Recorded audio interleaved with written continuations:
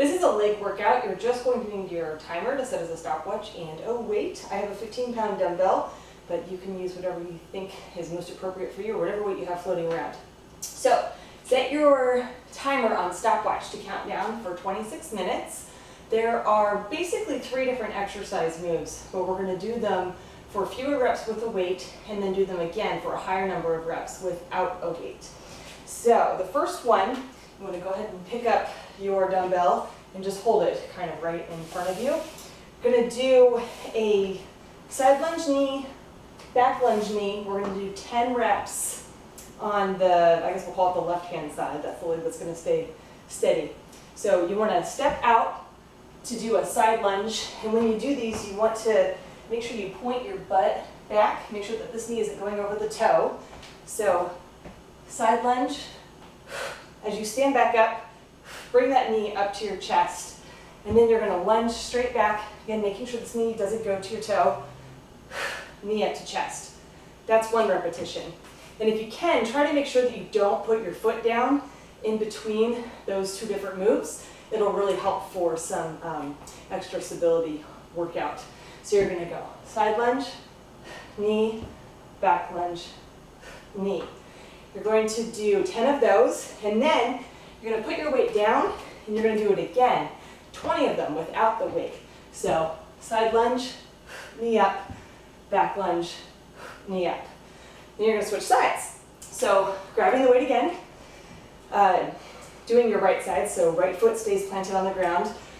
Side lunge, knee up, back lunge, knee up. I'm trying to bang your knee down like I just did. 10 of those. And then drop the weight. You're going to do 20 without the weight. So side lunge, knee up, back lunge, knee up. The next exercise is, oh, bridges. These are good. So I'm going to scoot my mat over this way. I'm Going to grab your weight, Lay down on the mat with your feet planted on the ground. Put your weight on your hips and you're going to do 20 bridge raises.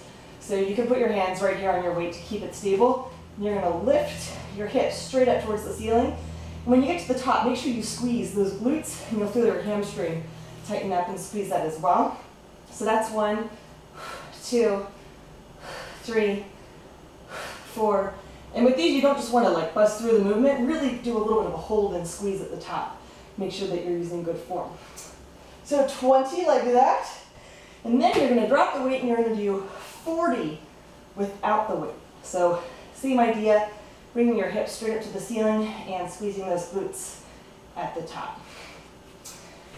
And then the final exercise is a one, two, three squat. You're going to do 10 with the weight I'm to skip my mat forward again, grabbing my weight, just holding it in front of me. If you have like a bag or something like that, you can also, you know, rest that like back on your shoulders, whatever you like better. So with these squats, I'm to start with my feet close together and then squat down. That's one of three. Step to a regular stance. So feet about uh, shoulder width apart, squat, down, come back up, and then go wide. Toes and knees pointed out a little bit come back up. That's one, so one of 10 repetitions. Then you can go the other direction if you want to the next time around. So close and squeezing your booty at the top, regular, wide. 10 of those. Drop the weight, you're going to do 20 without the weight. So same deal, close, squeezing at the top, regular, wide coming back to center. That would have been one. So this is me starting rep two. That's it. See if you can get through the whole workout maybe two times in the 26 minutes. That's my guess. But see how many times you can get through it.